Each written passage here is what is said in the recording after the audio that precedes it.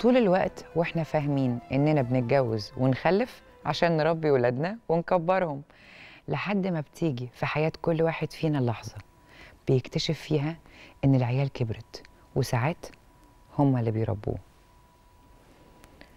زي باشمهندس نادر بطل قصة حقيقية النهاردة اللي بعد بيقول لنا بنتي الكبيرة قررت تربيني وتعلمني الأدب عشان شافتني بعمل حاجة من حقي أعملها كزوج وأب. لكن هي شايفة إني ارتكبت جريمة ولازم أتعاقب عليها العمر كله. طب يا ترى إيه اللي الأب عمله وبنته قررت إن هي تربيه عليه؟ تعالوا نسمع الحكاية من أولها ونشوف نادر بعت لنا يقول لنا إيه.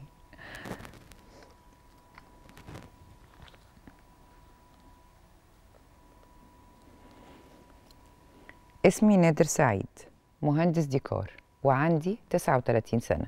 اتجوزت في سن صغير لما كان عندي 24 سنة وعندي حاليا بنتين وولد رنا 14 سنة ورغد 10 سنين وأنس خمس سنين.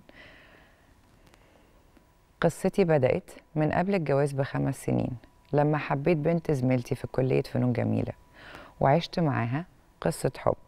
كانت الأربع دفعات بتتكلم عنها لدرجة إني وأنا في رابعة كلية رحت اتقدمت لباباها وقلت له أنا عايزة أخطب بنت حضرتك وأحجزها من دلوقتي عشان نتجوز بعد التخرج. ما قدرتش أأجل خطوة إني أتقدم لبعد التخرج. لما عرفت إن في عريس متقدم لها وحضرتك ضاغط عليها عشان تقبله.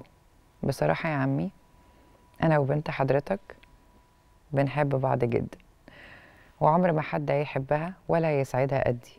بس اللي حصل إن الخطوة دي جننت باباها وخلته يعاند لما عرف إن بنته رافضة العريس بسببي ورفضني وصمم يجوزها له عشان كان العريس المتقدم من عيلة كبيرة وعنده شقة 200 متر وعربية فخمة وكل الإمكانيات اللي بتحلم بيها أي بنت.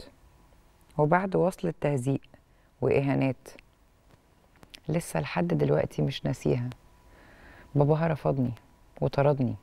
وقال لي فيما معناه إني مش من مقام بنته وإنها هتتجوز من واحد يليق بيها وهددني باللي ممكن يعمله فيا. لو ما شلتش الموضوع ده من دماغي كلامه وجعني قوي والبنت انهارت حاولت تنتحر بعد اللي حصل. لكن خلاصة الكلام إنها اتجوزت في الآخر من العريس التاني. بعد ما قلت لها شوفي مصلحتك لأن مش أنا اللي أشجع بنت تكسر كلام أهلها اللي ربوها عشاني.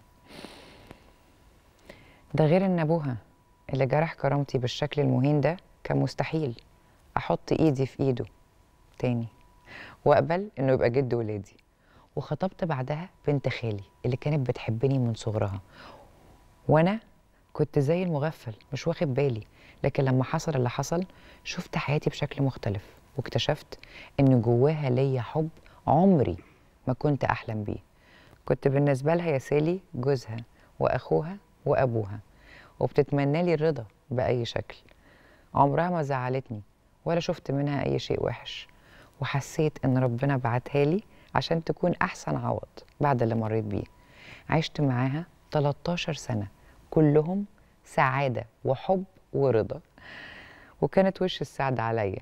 من بعد جوازنا بسنتين فتحت شركة صغيرة كده للتشطيبات والمقاولات وكسبت كسبت الشهد زي ما بيقولوا. وبدل ما كنا متجوزين في شقة 80 متر نقلنا بعدها لشقة 180 متر في مصر الجديدة. وبقى عندي عربية أحدث موديل وحياتي اختلفت تماما. والمرة الوحيدة اللي حصل بيني وبينها زعل كان لما شافتني فاتح الفيسبوك على بروفايل ندى. ندى. البنت اللي كنت بحبها زمان. الكلام ده كان من كام سنة. لما جيت أفتح الفيسبوك لقيتها بعتالي طلب إضافة ودخلت بروفايلها أشوفه. فوجئت إنها single غصب عني وقتها شريط ذكرياتي. رجع سنين طويلة لورا ولقيتني بفتكر كل اللي فات. ودخلت بدافع الفضول أشوف بروفايلها أكتر من مرة. لحد ما فقت على صوت بنت خالي في مرة وهي بتقول لي مسكين. تلاقيها وحشتك؟ مش كده؟ رفعت الموبايل قصادها وقلت لها خدي امسكي وشوفي بنفسك. هي اللي بعت لي طلب إضافة مش أنا. افتحي الماسنجر وشوفي لو لقيتي حرف واحد بيني وبينها اعملي اللي انت عايزاه. بكت وقالت كفاية عليا نظرة الاشتياق اللي شفتها في عينيك. كفاية إني شفتك سرحان في صورتها. مش محتاجة أشوف أكتر من كده. بس أنا بوست إيديها وقلت لها مفيش مخلوقة في الدنيا في قلبي وحياتي غيرك. هي بالنسبة لي ماضي وأنتي بالنسبة لي النهارده وبكرة وطول العمر اللي جاي. حقك عليا. وقمت ماسك الموبايل وعامل لها بلوك وفضلت أراضي في مراتي كام يوم لحد ما هديت. بس للأسف بنتي الكبيره رنا اللي كان سنها وقتها حوالي عشرة أو 11 سنة خدت بالها من اللي حصل. وفضلت كام يوم قلب عليا وبتكلمني من تحت الضرس. قال إيه؟ عشان واخدة صف مامتها. رغم إن البنت حبيبة أبوها بس بنتي الكبيرة رنا من يومها وهي حبيبة مامتها. خصوصا إنها كانت بنت عنيدة جدا من صغرها عندها شخصية قوية. وكنت كتير بتنرفز عليها واضربها لكن مامتها كانت بتعرف تسيسها وتحايل فيها لحد ما تقنعها تعمل المطلوب منها من غير عنف أو عصبية. عكس رغد وأنس اللي كانوا متعلقين بيا بشكل مش طبيعي. كنت في نظرهم السوبر هيرو وبطل أحلام طفولتهم كلها اللي مش بيشبعوا من القعدة واللعب معاه. كل ما أنزل يروحوا يقعدوا جنب باب الشقة لحد ما أرجع. كل اللي فات ده كان مقدمة لازم تعرفوها. قبل الكارثة اللي قلبت كيان البيت راسا على عقب وجابت عليه وطيه لما مراتي الله يرحمها توفت. لا إله إلا الله بقاء لله يا باشمهندس نادر. وأكيد عايزه أعرف مشاهدين كمان عايزين يعرفوا إيه اللي حصل.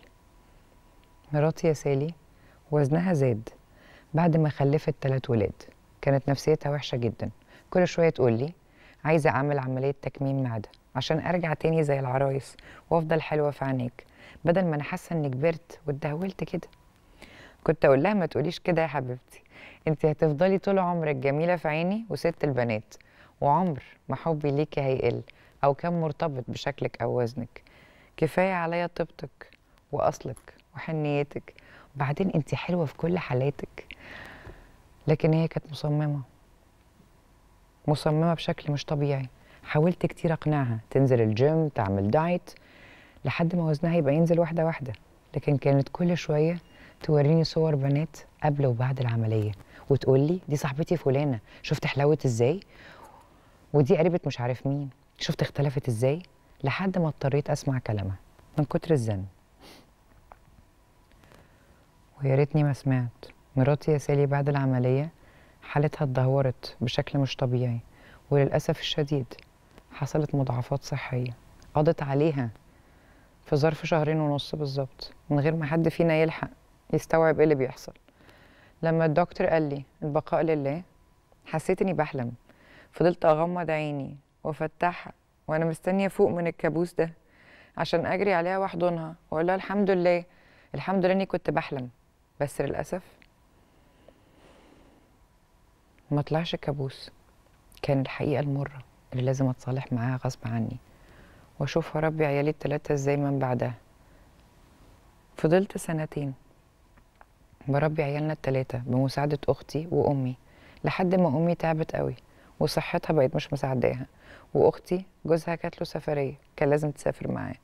لما الأمور اختلفت وأختي سافرت وأمي دورها بقى محدود قوي حسيت إني بضيع. لا بقيت عارف أهتم بشغلي وأكل عيشي والشركة. بقى حالها دايما في النازل. ولا في نفس الوقت بقيت عارف ألعب دور الأب والأم. لحد ما اضطريت أفكر في الفكرة اللي كنت بهرب منها. ومش عايز ألجأ لها أبدا. إني أتجوز واحدة تانية تساعدني في تربية الولاد. تعرفي يا سالي في وقت من الأوقات فكرت أشيل ال block من البنت اللي كنت بحبها زمان. ولحد دلوقتي معرفش هي إيه اللي حصل لها وخلاها رجعت single ولا إيه اللي رجعها تبعت طلب صداقة. بس قلت لا مستحيل. دي الإنسانة دي اللي كانت سبب في زعل مراتي وحبيبتي مني ودي الإنسانة اللي بنتي رنا عرفت حكايتها لما سمعت مامتها بتتخانق معايا ولما طلبت من صحابي ومعارفي يشوفوا لي واحدة بنت حلال وتتقي ربنا فيا وفي عيالي فوجئت إن رنا طلعت أكبر من سنها.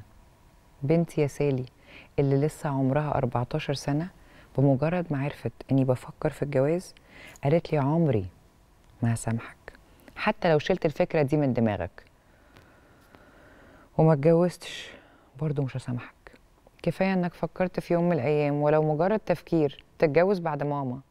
لما حاولت أشرح لها وأفهمها البنت حالتها النفسية اتدهورت. اتدهورت لدرجة إن هي بدأت تتخيل اني ممكن أكون عملت العملية لمامتها عشان تموت وأروح أتجوز واحدة تانية.